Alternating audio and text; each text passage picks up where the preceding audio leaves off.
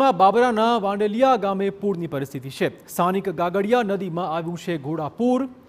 ઉપરવાસના ગામડાઓમાં ભારે વરસાદ પડતા પૂરની પરિસ્થિતિ છે બાબરા પંથકમાં રાત્રે ચાર ઇંચ જેટલો વરસાદ પડ્યો છે તાલુકાની મોટાભાગની નદીઓમાં પૂરની પરિસ્થિતિ છે